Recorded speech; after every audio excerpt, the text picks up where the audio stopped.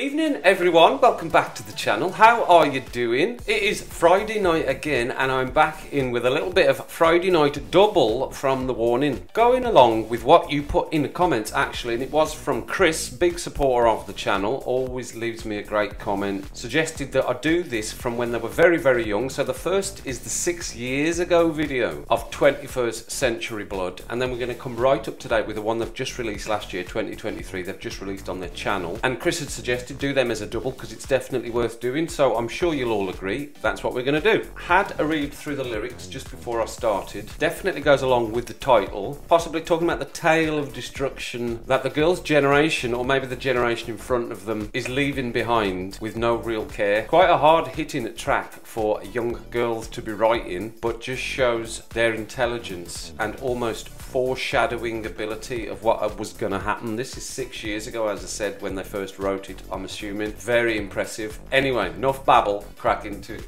Right, I'll get strapped in, of course. Here we go. Music video first. Hello, hello. Just checking my level. Oh, it's intense already. Oh, future.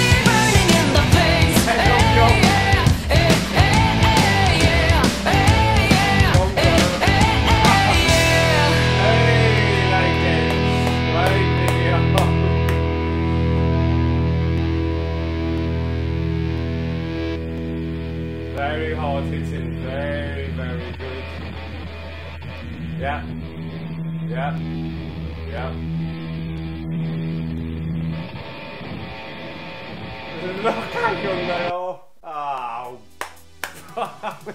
amazing video to an amazing track that is. Like I said so grown up isn't it? We'll switch straight I- I'm not going to pause in these because obviously it's a longer video. Now I'm looking forward to the live performance of that. So the progression from six years ago so this is now 2023 okay then same song live at the Pepsi Center here we go